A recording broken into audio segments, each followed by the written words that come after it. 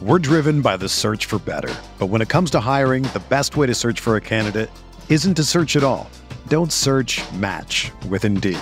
Indeed is your matching and hiring platform with over 350 million global monthly visitors, according to Indeed data, and a matching engine that helps you find quality candidates fast. Ditch the busy work. Use Indeed for scheduling, screening, and messaging so you can connect with candidates faster. Leveraging over 140 million qualifications and preferences every day, Indeed's matching engine is constantly learning from your preferences, so the more you use Indeed, the better it gets. Join more than 3.5 million businesses worldwide that use Indeed to hire great talent fast. And listeners of this show will get a $75 sponsored job credit to get your jobs more visibility at Indeed.com slash BlueWire. Just go to Indeed.com slash BlueWire right now and support our show by saying that you heard about Indeed on this podcast. That's Indeed.com slash BlueWire. Terms and conditions apply. Need to hire? You need Indeed.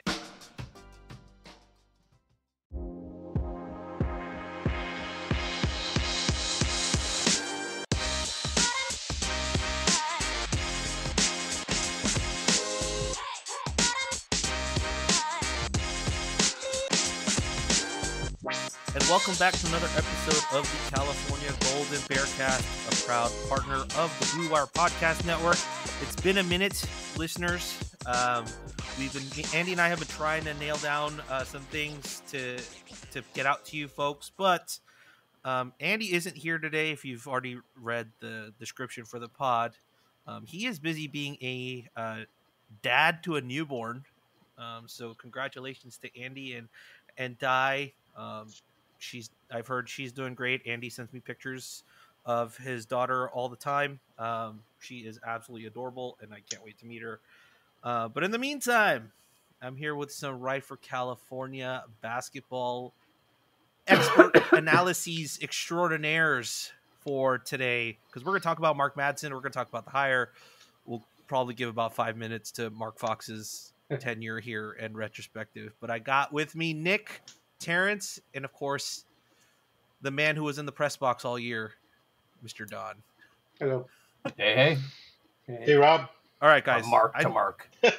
we're, we're just got to get right into this, right? We got we got to talk about Mark Fox. We got to talk about his his tenure here. Nick, you've you wrote the retrospective on Mark Fox probably like a year ago, and you kept adjusting it because we kept thinking that he could get fired next month. He could get fired next month. He could get fired next month. I, Um, honestly, I've been here's writing it in my head for four years. like, I think we all knew it was coming, and it was just a question of when. Uh, you know, I think I've said my piece, so I'll I'll, I'll let uh, Terry and Don have their say. I think uh, one of the things that I really thought about Fox is it wasn't just his inability to win and his dinosaur era offense. It was sort of more that he was unwilling to take a critical look at himself and the team and say, you know, this isn't working. How can we change this?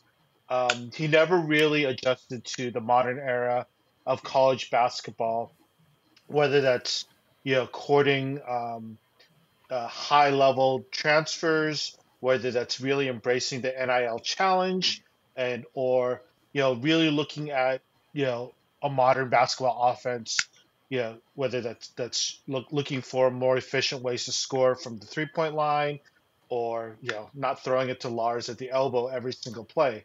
So I think it wasn't really that like you know I think when when Fox got hired, we were skeptical, but we were willing to give him a little bit of leash because, you know, he, even though he didn't have a bunch of success, he had had a few uh, decent teams at Georgia and especially at Nevada.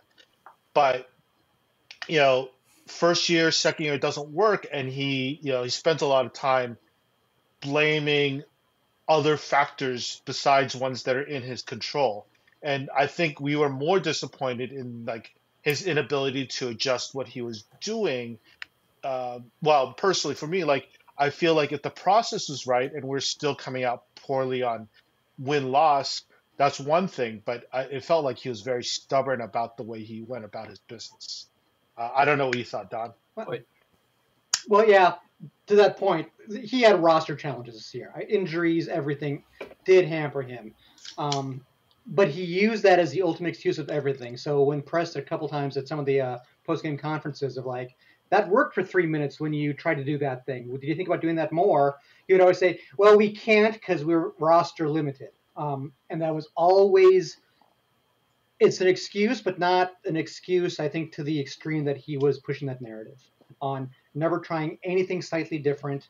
Uh, so risk averse to get away from that high low game with Lars, to try to change it up a little bit, to try to go up tempo, because the roster was always limited. And that was always the answer that he was going to give to almost every single question. I think, you know, really. Uh, Terry, your, your, point is sort of. Oh, sorry. I was just going to say. Your, your, point is sort of interesting.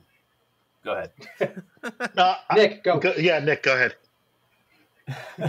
I thought your point was sort of interesting because I was sort of thinking back across the four years of Mark Fox and trying to think at what point did he ever try anything different?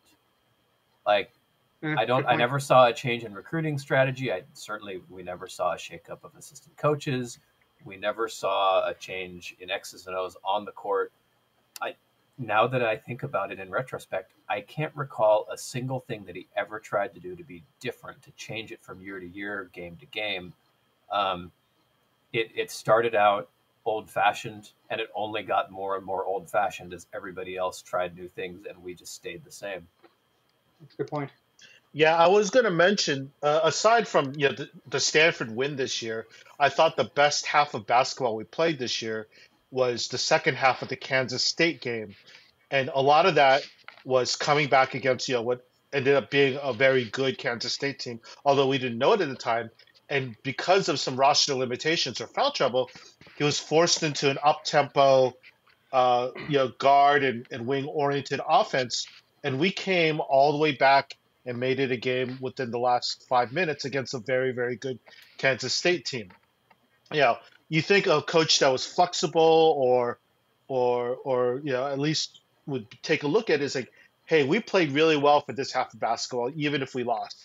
What if we played you know 20 minutes a game using this up tempo you know defense first uh, you know fast break style? But i think we never really went to that until he was forced by you know whenever lars or nd or both of them would get into foul trouble and we'd have to go with um, you know Grant Newell as our big. Right. I to me it was the uh, UW game up in uh, the overtime loss against uh, the Huskies where how you attack that Hopkins zone you you a lot of motion across the center and look for those open soft spots. So you had Joel Brown attacking like crazy. You had that was almost a Grant Newell coming out game, right? Where he I think he finished with around 20 and 10. And it was just that motion that okay, this is how we attack. We just we find those spots within that Hopkins zone, and it worked. And you know, we arguably should have won that in regulation and overtime too. But that's to your point. Like there were moments there where you go, why don't you do that more? And and I, yeah, probably you're right, Nick. In hindsight, four years, it was the same thing over and over. Yeah. Yeah, I mean, look, I, I wrote an article like two years ago where it was talking about after year one, where all of a sudden the first or second game we're shooting a lot more threes and I'm like, oh, is this is this us turning it around? Like, are we going modernized basketball here? And then that article was literally worth one game, and then it, it, reverted it reverted back to whatever whatever it was. Um, I think all your guys' points are just makes so much. It just makes a lot of sense if you look back at it, right? And I think for me, the thing that irked me even when we've hired Fox was like his his name dropping was just really, really just like you shouldn't need to name drop Van Gundy or all these coaches or Coach K or all these names of of prominent co- collegiate basketball coaches um, that you supposedly spent time with um, during his year off from basketball. And talking about how much he learned about the game and how it's like becoming or modernizing and it just gave him like a new perspective on the sport only to come here and for four years do exactly what you've been doing the past 10 like it so just it never made sense to me it felt so yeah it felt just so much of a here's here's these famous people i know um, and i got to spend time with who knows if like you know he actually really spent quality time with those those coaches and, and people. But like it was that's that's the one thing that always just never sat right with me. Um, I so I mean, so to close, like my retrospective on Mark Fox is I think like by year two, I think he kind of just went, I'm not going to win here. I'm going to do. I'm going to coach my way out of this, it just to get to respectable. And he was just blinded by his own ambition of being wanting to be able to do that, and it just went downhill, downhill, downhill, downhill until we ended up with his firing on March 9th. I've learned so much in my year away from basketball, and we shoot threes at the 339th fewest rate in NCAA in his first year at Cal. Uh, you you really learned a lot your year away from the court, Mark. All right, I think that's enough about Mark Fox. We got to talk about another Mark we just hired. How it's it's yeah, it writes itself. These jokes write themselves at this point. Um, I'm gonna run through just the timeline of what happened and just the process, and then we can get into a bit of the Mark Madsen stuff. Uh, but I also got wanted to get your guys' thoughts on the hiring cycle that went around this time. So on March 9th, Mark Fox is officially fired. 38 Yay. and 87 record at Cal, 17 and 61 in conference play, three straight 20 loss seasons. Uh, Jim Knowlton writes, I wanted to thank Mark for his unwavering commitment to our men's basketball program. He led the team through some challenging times and always did so with the class and professionalism we have come to expect from him. Mark understood and embraced our university's mission and ideals and was always an exemplary representative of our department. I wish him the best of luck in the future. This was not a difficult. This uh, this was not a difficult decision. This was a difficult decision, and one that I do not take lightly. After deliberating and holistically evaluating all aspects of our program, I felt the change was needed at this time. We will always be guided by the best interests of our student athletes as well as the values of our university.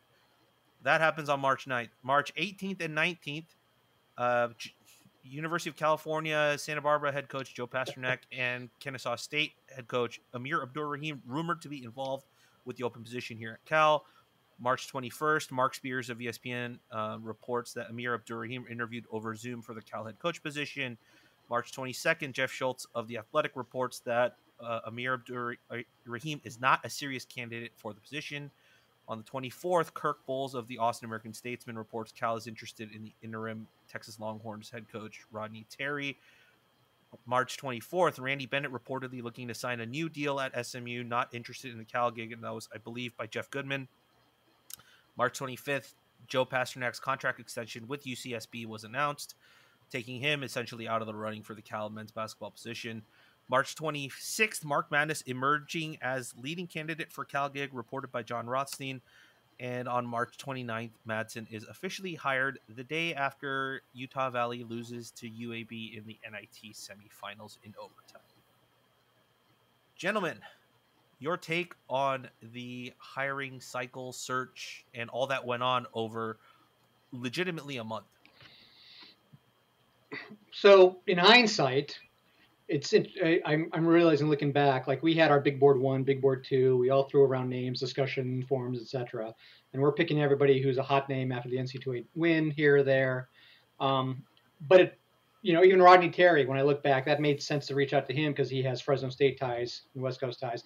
It was always going to be a West Coast guy, right? So the Amir thing, when I go, why didn't we even necessarily talk to him? I look back and go, well, were you ever going to pull him away from the South?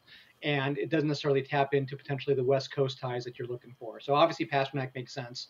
Uh, Randy Bennett makes sense. Rodney Terry with Fresno State ties makes sense.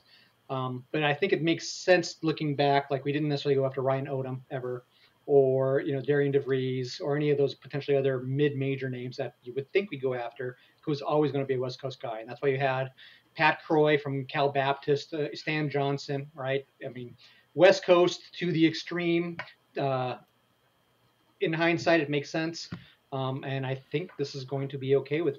I I don't mind the un, out the uh, end result of getting Madsen, but I think there probably could have been a little a, few tweaks along the way to kind of make it maybe more obvious it was always going to be a West Coast guy. All right, I'll be done for now. yeah, uh, I'm curious. One of the things that we can never know is who who else that they maybe would have considered. Like for all we know, the athletic department might have called up Ryan Odom, and Ryan said, "I am not touching three and twenty-eight radioactive cow with a, a thirty-foot pole. I have better options available to me. No thanks." And then we immediately move on. So, you know, it, it would be really fascinating to know who else we maybe reached out to, but it was immediately clear that they had no interest in the Cal job, and so we moved on to the folks who did. Um, I so we can then we can talk about the people that we know for sure had some level of interest, presumably based on the reporting, which is of course Madsen, but then Stan Johnson with Loyola Marymount, um, Amir Abdul Rahim with Kennesaw State, Joe Pasternack with UCSB, and that's probably it. I mean, they, they made their Hail Mary throw at Randy Bennett, which is absolutely something you should do, even though the likely result is that you get Randy a few extra million dollars from St. Mary's. Um, what, and again, we don't know who else they may have gone after. Um, all of those are credible candidates, except for, in my opinion, Stan Johnson. Um, I don't know how seriously Cal considered him, but apparently they interviewed him, and we don't know maybe how much Stan Johnson's agents were throwing his name out there to try to get a raise out of Loyola Marymount. I hope that Cal wasn't really seriously considering a guy who's under 500 in West Coast Conference play across a few seasons. Um, when, but they got a guy better than Stan Johnson, so I can't be too upset about the potential interest they might have showed in him. So the question really becomes: Is Mark Madsen the best candidate out of the three of himself, Amir Abdur Rahim, and Joe Pasternack? And I think ultimately they the three of them have similar uh, enough resumes at lower conference schools, their own pluses and minuses that I think reasonable minds could kind of disagree on which is the best option. And I think it's hard to get too upset over picking one over any of the others. But you know, your guys' thoughts on which of the three you would have preferred. I'd certainly be interested to hear. I think, um, you know, unfortunately or fortunately, depending on, on how you feel about things, in 2023, you have to not only look at the basketball resume and acumen, but also the money side of the equation. And not, I'm not talking about the salary, I'm talking about NIL. And so I think that's a, a, a separate discussion you know, where apparently Coach Pasternack already had, you know, NIL donors ready to pitch in on his behalf, and you know, it, you know, it's a it's a it's sort of a a fact of modern college basketball that that has to be factored into um, the decision making, and you know, I think personally, um, out of the three, you know, because I, I, can't speak very much to the NIL stuff because um, I don't have a lot of personal knowledge. But on the basketball side, I like that Mark, you know, obviously has what a decade of experience in pro basketball, both as a coach and as a player, and so the uh, the ability to switch on the fly in terms of looking at modernization of what we're doing, and you know, some of the stuff we saw Utah Valley running um, in terms of like high pick and rolls, you know, immediate dive, like dive, you know, dive right off the the pick um, basketball. That looked really attractive. Like you know, people were looking to take shots in the first ten seconds of the shot clock. So I really like the style that Madsen brings, and I think you know he's young enough that he can. He's still he still has a lot of pro cachet. You know, he was teammates with Kobe. He was teammates with Shaq. Um, but he's also built up a lot of college, um, you know, reputation and results as well. So for me, his resume reads the best um, out of those three basketball wise. Yeah, I'm with you, Nick um, and Terence. There's shades of gray between those three. Um, I was actually a little more enamored with uh, Amir Abdur Rahim because I like that up tempo push. Um, I like the yearly pitch about having an African American coach and being the first one in the Pac-12. Um, uh, as you know, in addition to the basketball acumen as well. Um, uh, but I have no issues ending up with Madsen. To your point, you know, he's got the cachet both uh, with the pro playing and coaching resume and college experience too. Um, good at developing big men, right? That's yeah. the supposed rumor, right? What he's done at Utah Valley, and Kurt, well, knock on wood, we have a roster full of wings because we've been talking about this all year. So Yeah. it'll be interesting to see how he changes to whatever roster he ends up with after the transfer portal, and if he goes after coachable big men because that's what his uh, you know um, primary knowledge set is, or I'm going to be interesting to see how he potentially evolves whatever the roster looks like. And I think he can, unlike unlike the prior regime, which was inflexible. I'm I'm I'm Madsen Yeah. I expect to be flexible. Um, one other thing I'll throw out there about the process before we move on to like em- embracing the future and having some semblance of hope again. Um, I do wonder how toxic this becomes the, the process just because everybody kind of hates Jim Knowlton now. Like, like I think well before he fired Mark Fox and and and engaged in this coaching search, I think most Cal fans have decided that Jim Knowlton is a problem that they would prefer to not have at Cal anymore. For whatever reason you might have. Maybe you think he isn't giving football the resources it needs. Maybe you think he gave Mark Fox too long of a leash. Maybe uh, you have issues with how he handled the McKeever situation. Regardless, there are a lot of people with a lot of problems with Knowlton.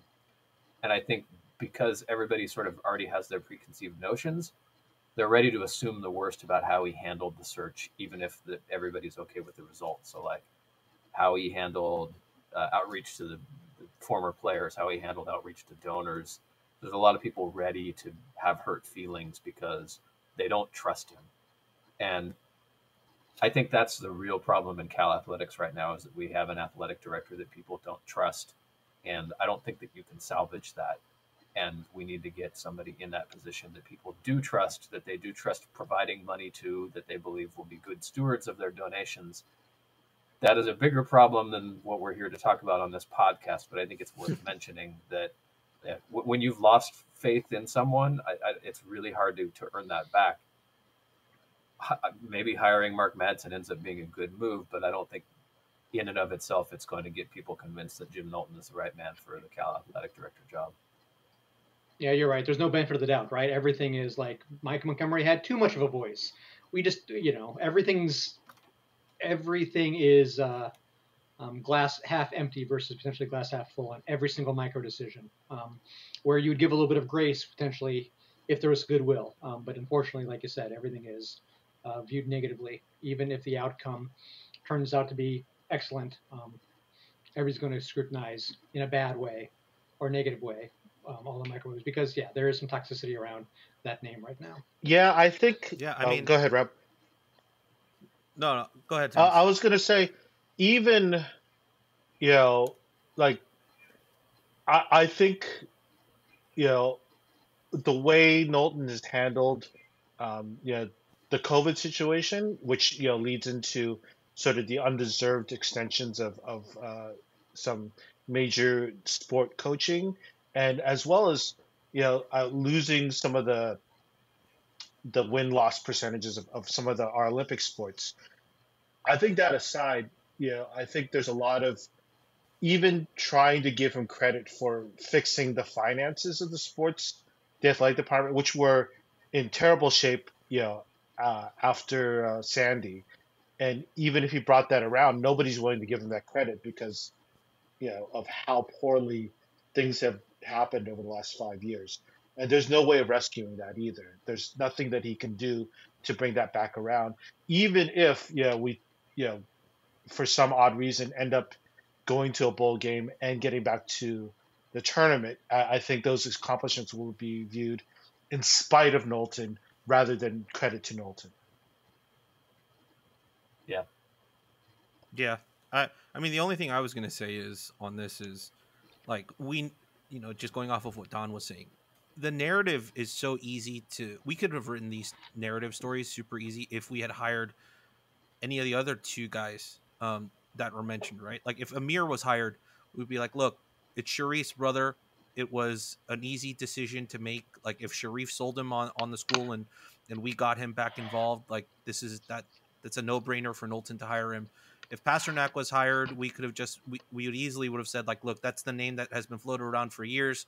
We couldn't get anyone better, so we just settled with Pasternack. Like it's it's so easy for us to be able to just because of covering this team and knowing how these how the basic trend of fan voices has been over the last like three years. We know exactly how the fan reaction would have been when if we had hired anyone. Like the Madsen right. one, I think is the one now where some people are coming around on it, but they're still not giving Knowlton the credit for for hiring the dude.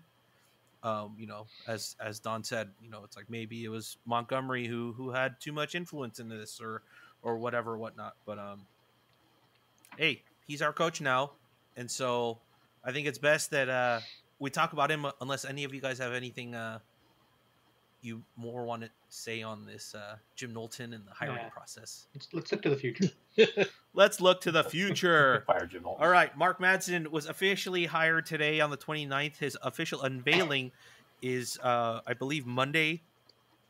Um, also, the reason being, I believe his wife is, um, or they're expecting their fourth child, um, and was supposed to be any day now. There were rumors of him, you know, deciding whether he wanted to coach the game against UAB or be there with his wife on the off chance that she was um, due. And but he was there at the game, and now you know he's probably back um, with the family, getting ready for that. So that's probably why they pushed it off to, to next week. Plus, you know, no one's on campus right now, so it's probably a good reason to, to push it week. off to yep. next week. Yep.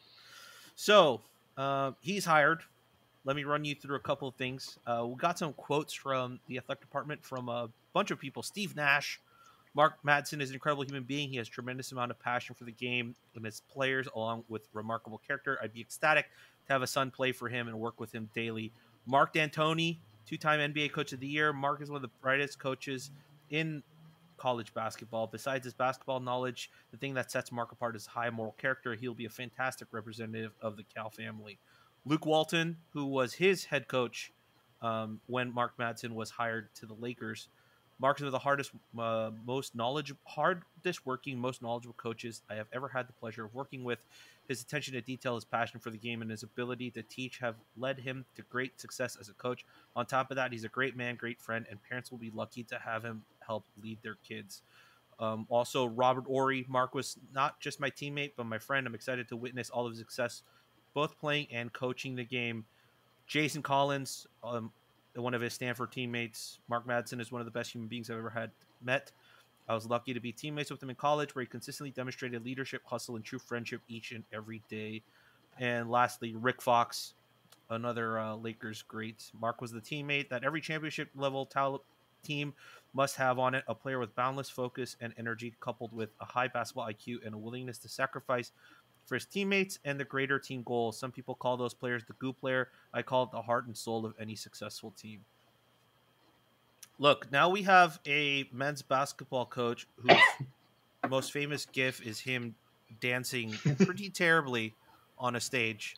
And we have a football coach whose most notable gif is licking his lips on the sideline of a football game.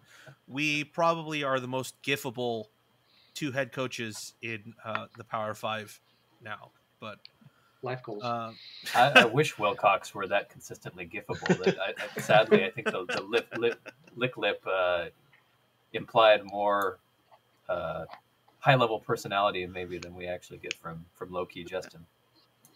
Low key Justin, that's right. Uh, the last thing I wanted to say before I drop it off to you guys, just some Utah Valley stats from this past season. KenPom had them ranked as the 64th best team in the country. They barely missed out on the tournament because um, they won their league in the regular season, but lost to Southern Utah um, in the uh, the WAC tournament. So they ended up in the NIT. They got to the semifinals, as I said, and they lost to UAB in the final four last night. Um, some numbers for you. Their adjusted efficiency on offense is 107.9, which is 119th in the country. Defense is 95.3, which is 29th in the country. Tempo 70.2. That means an average of 70.2 possessions uh, per 40 minutes. And uh, average possession length on offense is 17.1 seconds, which is 116th in the country. Their effective field goal percentage on offense was 51.7%, on defense 44.0. And then some of the more notable stats is um, on defense, they gave up a 42.82 point percentage, which is bet, which is good for third in the entire country, and 31.3 from beyond the arc, which was good for 35th in the country. They don't shoot a lot of threes. They only shot at 32.8% of their total field goals, uh, but still higher than uh, than what we were shooting. and uh, that's about it. Um, I give it up to you guys. I know most of us watched the the Utah Valley game last night, and we came away with some thoughts from it. But uh, we'll just go in a circle. And would anyone like to start? Well, I will say that Utah Valley had the same number of Pac-12 wins as Cal did this past year. we had two, and Utah Valley beat Oregon during the regular season and Colorado during the uh, first round, I believe, of the NIT. So mm-hmm. He's they're already we're already at least breaking even. We'll say that.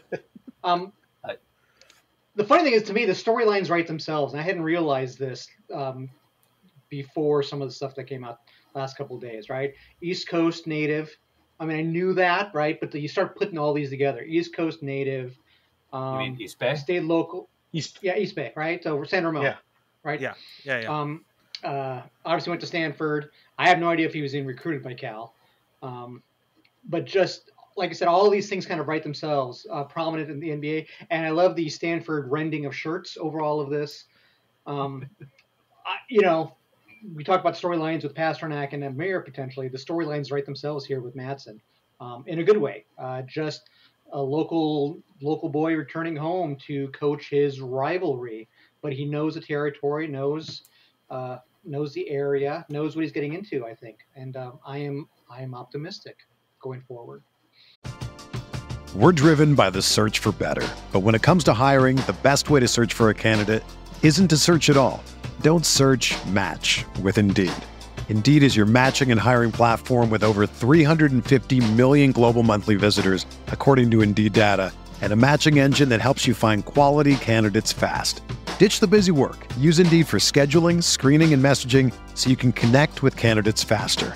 Leveraging over 140 million qualifications and preferences every day, Indeed's matching engine is constantly learning from your preferences, so the more you use Indeed, the better it gets.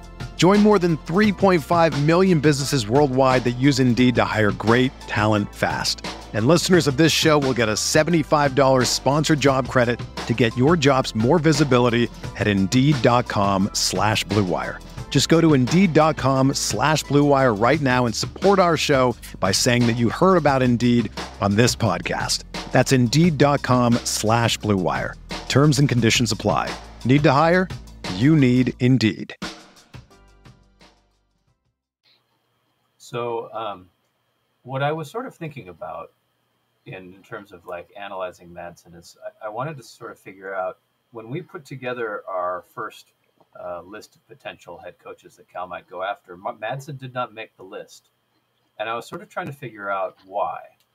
Because um, it seems sort of, you know, like in, in retrospect, he was by far the biggest omission from our initial list mm-hmm. not just because he actually came became Cal's coach, but he does have an intriguing resume that I think sort of flies under the radar. And w- when I was trying to make sure that we turned over every stone, I went through like literally every single coach of a West Coast conference. So I went through the entire WAC, Mountain West, Big Sky, uh, anything that was remotely like, you know, west of the Great Plains to look at every coach. And Madsen's resume didn't sort of jump off the page at a quick glance, partly because he took over a team from Mark Pope when Mark Pope moved from Utah Valley to BYU. It was already pretty good, and that team took a pretty prominent step back in Madsen's first year. And, you know, they, they took kind of small but significant steps forward each year. And I think probably when we were initially looking at our list, uh, it was early in the season when it was pretty clear that Fox was not going to survive. And, you know, Utah Valley had gotten off to kind of a rough start, and really there wasn't a whole lot that was super intriguing.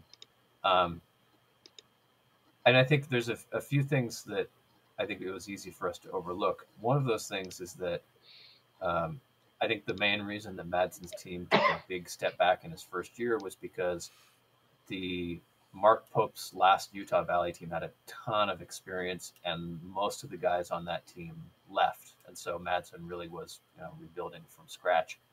Um, and the other thing is that like Madsen's Utah Valley team really picked things up, you know, like kind of late in the non-conference schedule. Um, they had a big upset win over BYU on the road. They knocked off Oregon again on the road after that rough start, and then pretty well cruised through a decent WAC. And then obviously they've had this impressive NIT run, and so I think a lot of Madsen's appeal now is sort of resting on I had this four year rebuild. This year was the result of that. Look at what I can achieve if you give me significant time and resources. So I think that's kind of why we overlooked him. Well, I would I mean, argue just- also. No, go ahead. Um, at that time, we also thought Haase was probably going to be out at Stanford. Yeah. and and why would we even think about Madsen? Because you know when we're putting that list together, like like you know Decemberish or so, at the first pass. Oh yeah, it's Haase is out and Madsen's. That's the obvious. So let's just move on, right? Because he was never going to be on our radar. Because but Stanford surprised us all, I think, by bringing Jerod back for another year. And It's to really me, that's amazing. kind of where I was at. Like, okay, why would I even think about Madsen? Because They're it's even- obvious stuff where he's going to go. Yeah. Somehow our rivals are the only team even more passive than us. It's really, Se- really impressive stuff. Seven years with Jerod. They do have a five star recruit coming in, so I, I can un- somewhat understand. And they finished Yeah. this season pretty well. Yeah, Peja Stojakovic's kid. Yeah. Uh, pains me. The um, As Nick wears his Sacramento Kings hat while we're Exactly. recording Rob, this. a couple, How uh, could Peja betray us? one tweet which you didn't read, um, and yeah, this might pain us a little bit, but uh, Coach Dennis Gates, the sheriff, yeah. he also said congratulates to congrats to Mark Madsen as he enters into the this next chapter of Cal basketball. Yes, he is a Stanford grad. So what?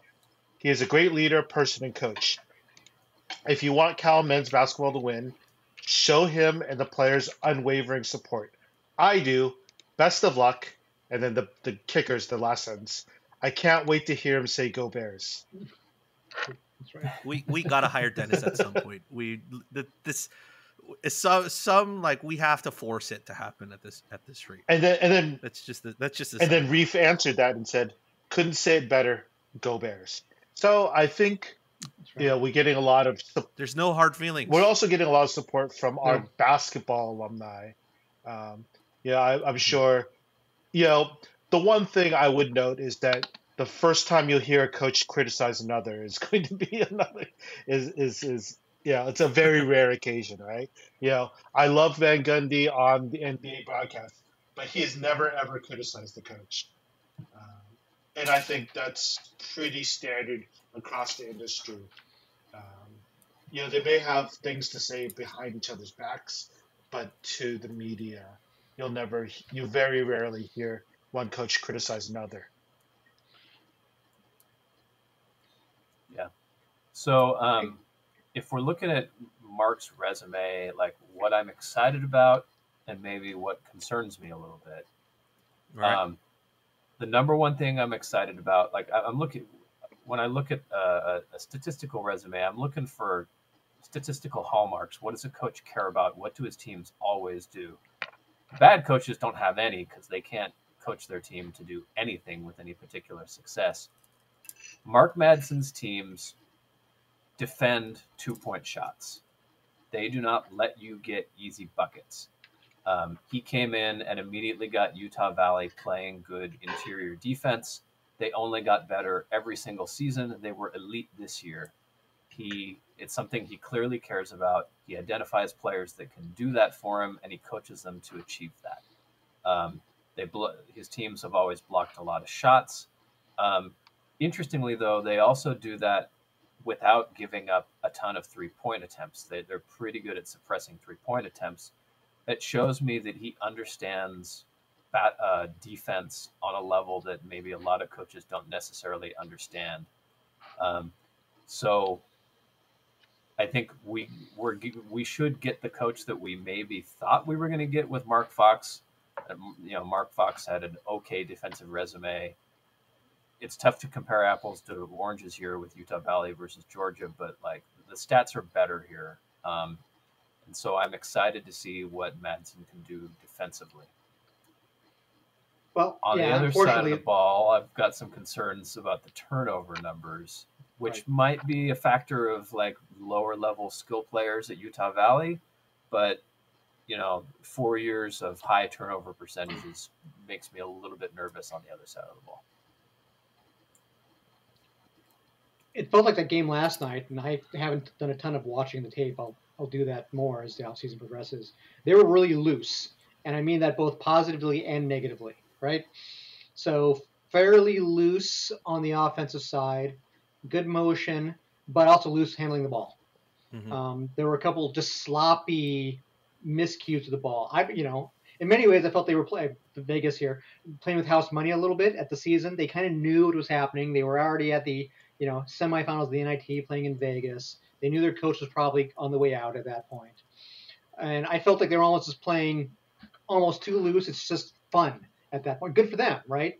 End of a long season is winding down. But yeah, my impression last night was um, loose on the verge of sloppy. Nice energy. Um, I like the space concepts on the defense. It's one of the things, and probably unfairly here, a lot of what Madsen's going to be compared about, especially you know breaking down game tape, is he's doing this better than Fox's teams did. So I like the spacing a lot better. Uh, we sometimes our bigs, especially, got lost on defensive spacing. Um, I think he, and that backs up by the stats, he is better at coaching defensive spacing, which allows them to collapse on the ball a little bit more, you know, contest more shots than average. Um, and again, bolstered by all the stats that you just mentioned, Nick. I think Yeah, that's the weird part. It's like, oh yeah. No. Uh, Uh, I'll, one second. sure. Go ahead.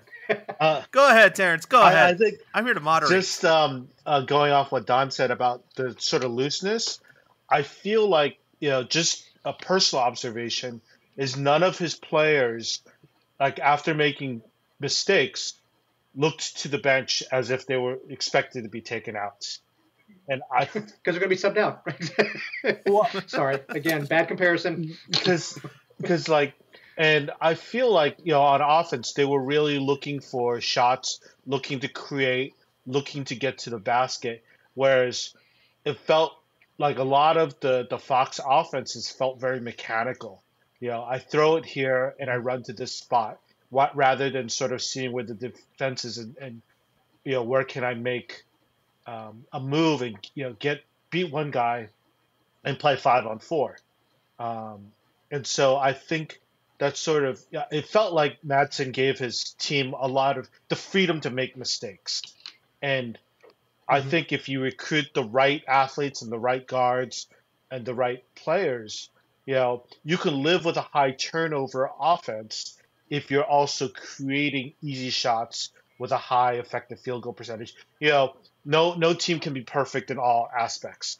So if you're creating, if you have a uh, a high turnover offense where players have a lot of autonomy, but you're also creating really good open shots, whether that's at the rim or open looks at three, you know, where, where players can make sort of make decisions on their own without looking over the shoulder, worried about being pulled.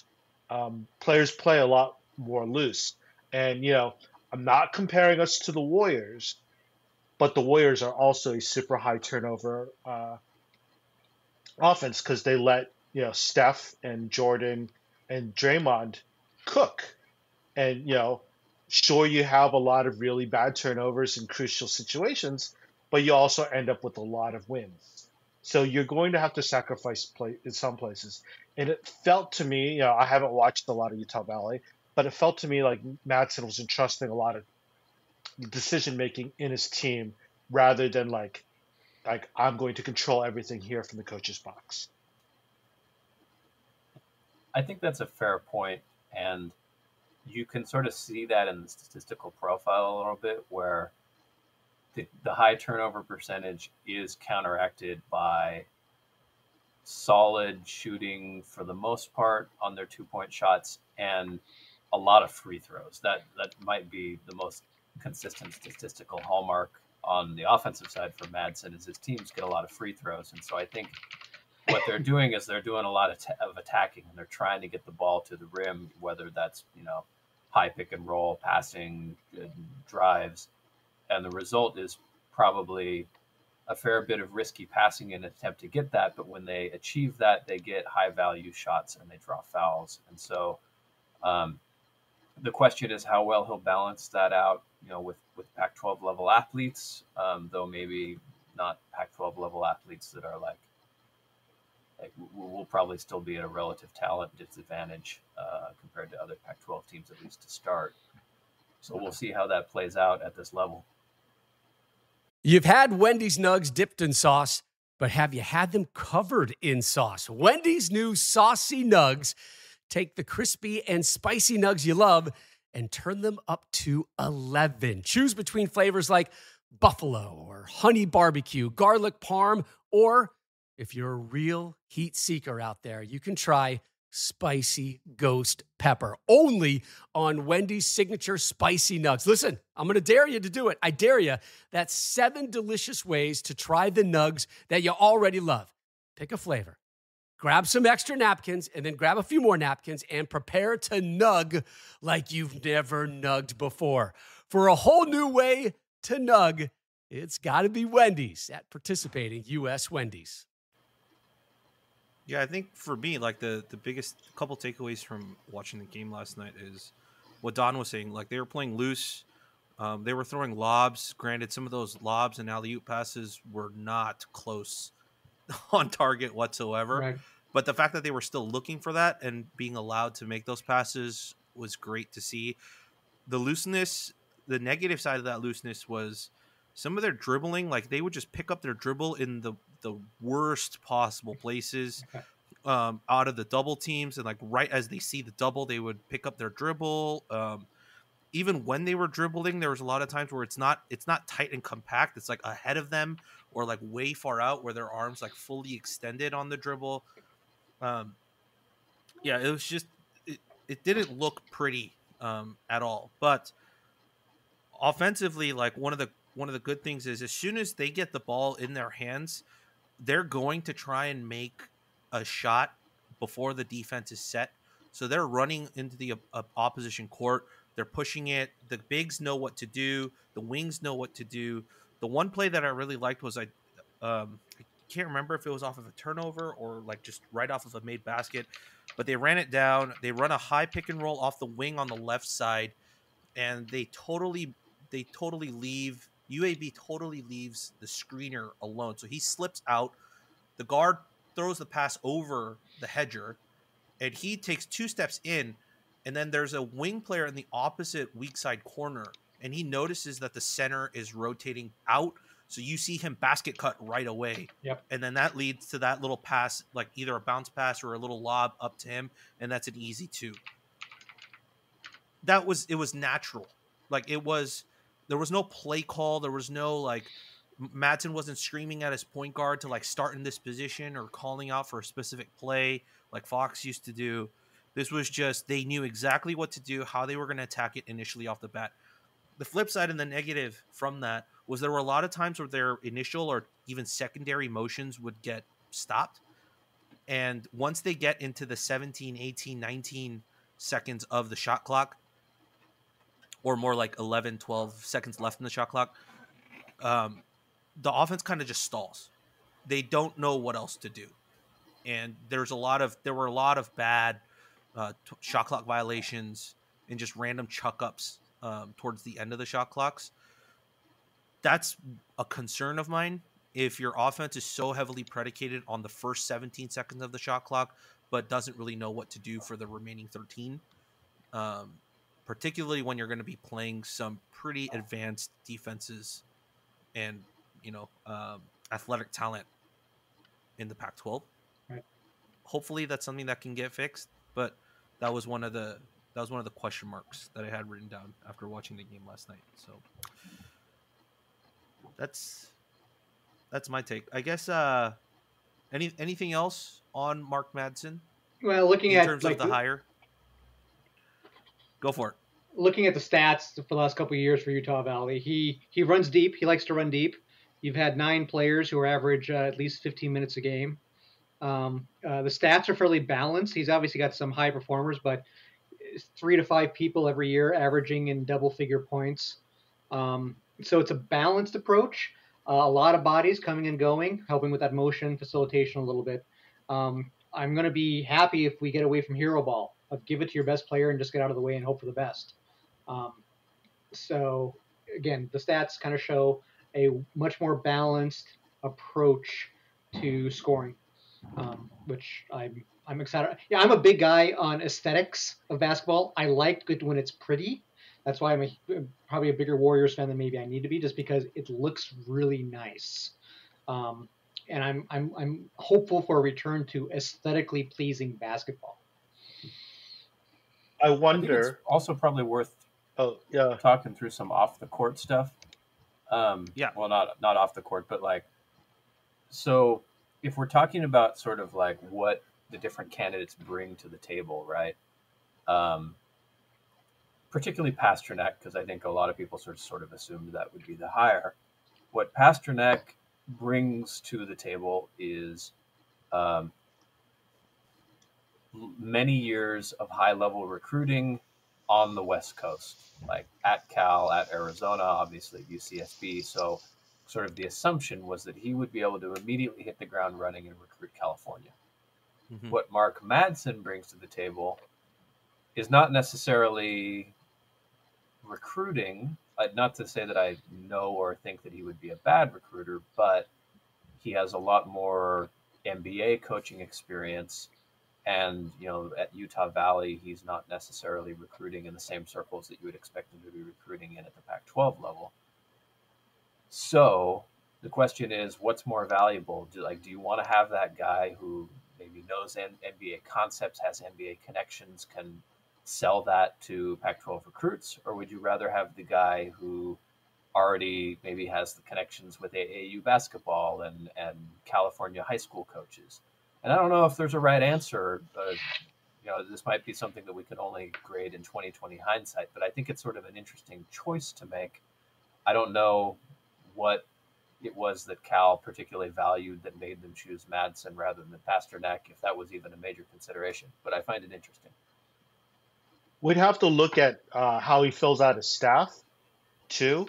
Like yeah. if if Madsen brings yeah. in some guy who is AAU connected, you know, Oakland Soldiers, Slam and Jam, you know, all the big West Coast programs. Um, you know, that could sort of fill up that space pretty easily if, if you're bringing in a recruiter as, as your head assistant.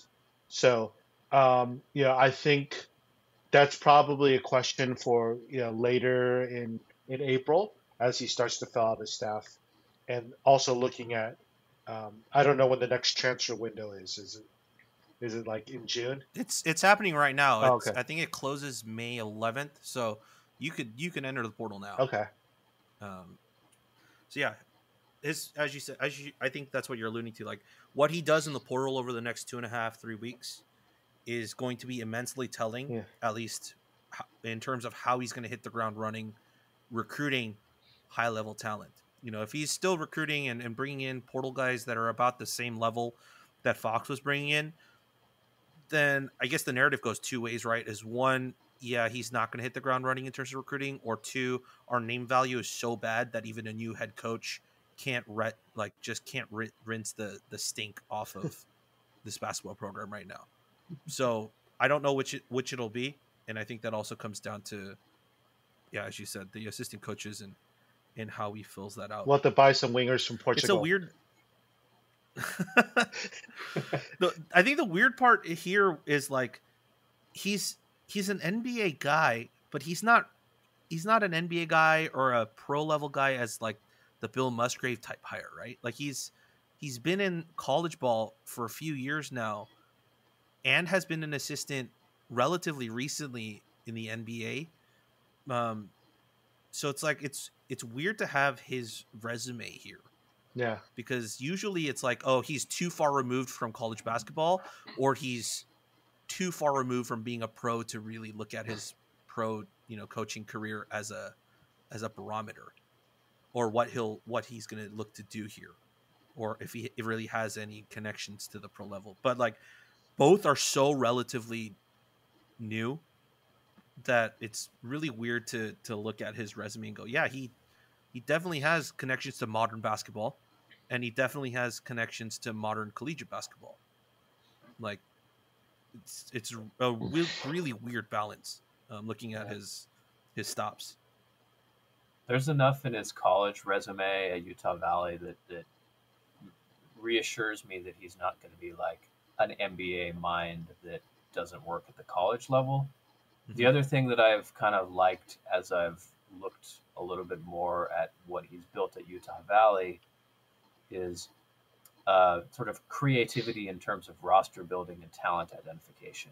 Like, you're not going to get four star guys to Utah Valley. So, like, can you find an intriguing uh, talent that you can build out uh, at Utah Valley from like the JC level or from some other, you know, a, a, a portal transfer? Like, we haven't really had, uh, uh, well, we've very much not had under Mark Fox like any sort of roster building creativity, other than I guess like pulling dudes out of Ireland, which is as much as I love our Irish guys, maybe not like the the, the secret uh, uh, undiscovered area of talent that, that everybody else has been missing on. Um, so I, I, I don't know how he's going to build his Cal roster, but his time at Utah State would indicate to me that he's got some creativity and flexibility to figure out a way to to make a team that's like comp- at some baseline level of, of competitive in year one. Yeah, I mean, Nick, just to go off of that point, it's like if you're looking at just that, it it's going to go one or two ways, right? Either his talent, like uh, his ability to discern good talent and like pick uh, uh, out abilities of potential recruits is going to translate to the next tier of athletes that he's able to recruit from and that's the best case scenario here is is that translation happens and he's able to identify um, talent whether that be five stars and go in on some like particular guys that he really wants. But the flip side of that is he relies too heavily on his tenure at utah state and only consistently goes for guys that are maybe two diamonds in the rough feel and doesn't necessarily make that talent acquisition step in identifying the next level of guys that we need and just like blindly thinking look if i can develop the guys that even i had at utah state i can compete in the pac 12 and that was kind of mark fox's downfall with recruiting right? It's like i'm just going to bring in the guys that i think are good enough and i will coach them up. And mm-hmm. it clearly did not work out that way. Yeah. You got to mix in some four star guys at the Pac-12 level. Yeah, and you you can you can mix in the creative diamonds and the rough guys, but you got to have some four star talent at some point. You got to have the horses. Yeah. Yeah. Anybody else or on uh, just the hiring itself and Mart on Matt? Yeah, I have one more thing. Like, um, I have a personal bias towards players who uh, bench players turning into coaches. Um, like I feel like yeah. like if you played a super high level basketball, which he obviously did, but you weren't a superstar, you know that allows you to sort of sit there and watch how you know Phil Jackson or uh, you know Jeff Van Gundy or whomever handles their team. But as a guy who made it almost to the top level, but then was at the bottom of the top level, you sort of both understand both what it takes to get to the top level, but also understand what the guy at the end of the bench is thinking and doing.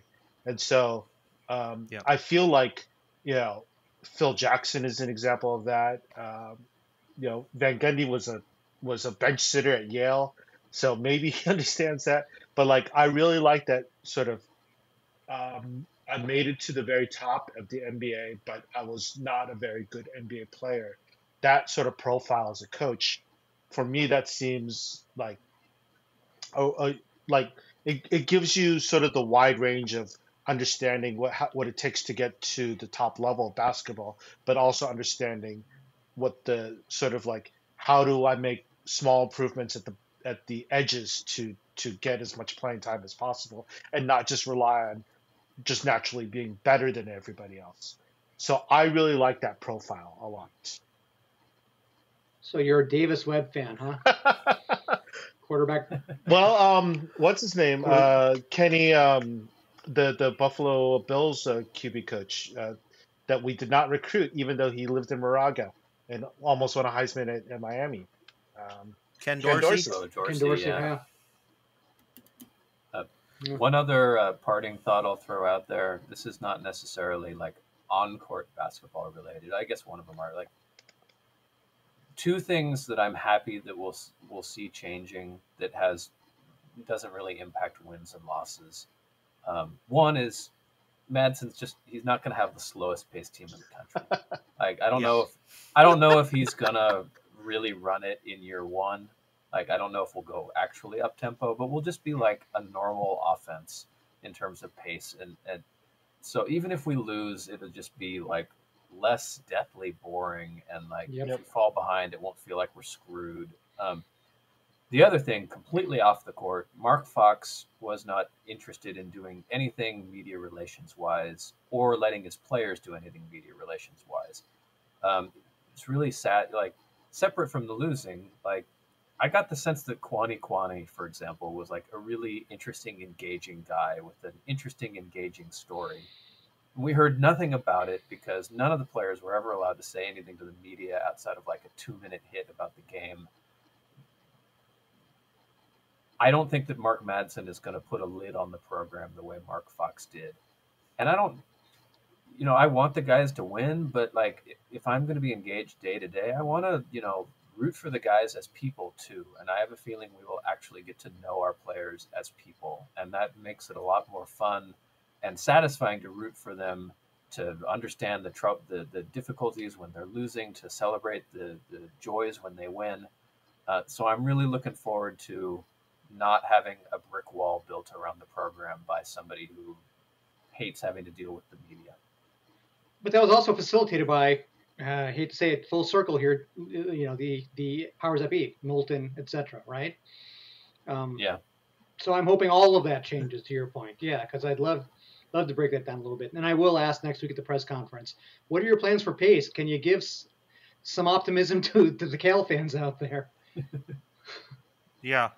I mean, look, my my my podcast thing that I wanted to do for the longest time, for like a good two year span, was get um, Coin Dang and Kuany Kuany on a pod together because they're they're both from the same place. Like they're both good friends here.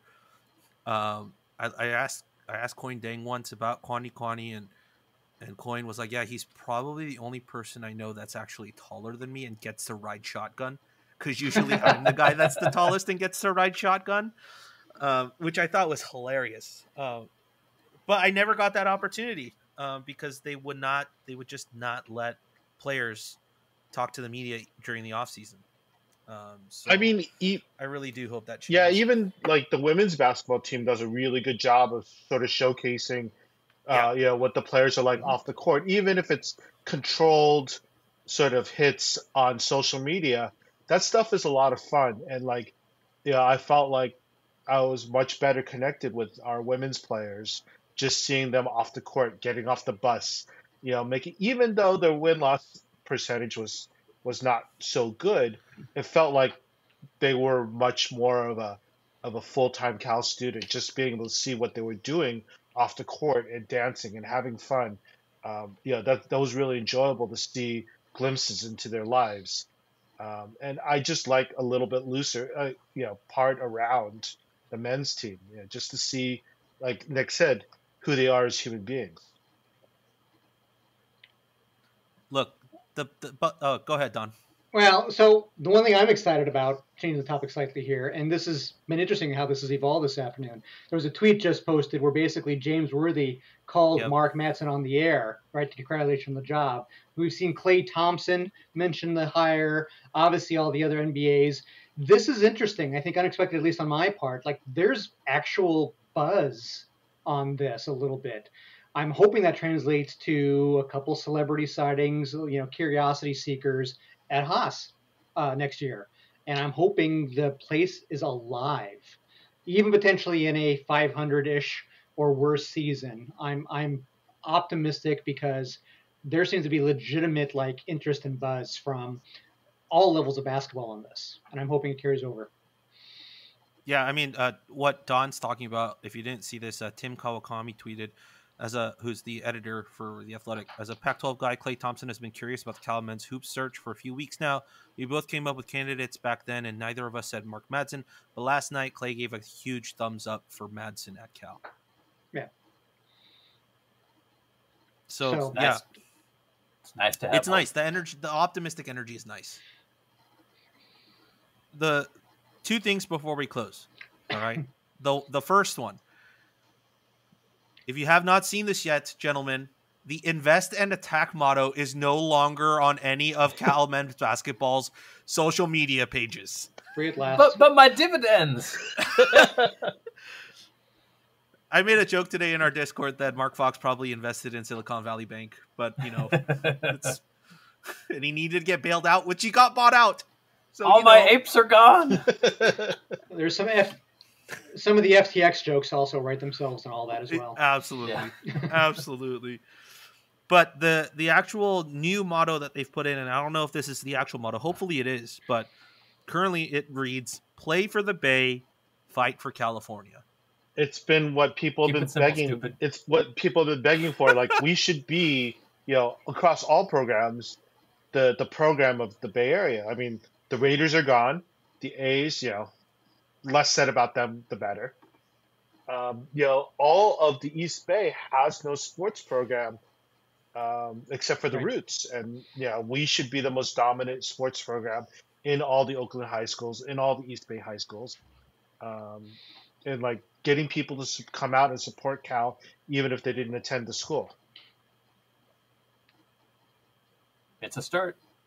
Yeah. Also, uh, what Don was saying about James Worthy calling Matt, Mark Madsen live on the air, it's actually on Twitter. Like, there's actually the video clip of him, um, in because he's one of the guys in the studio for the Lakers.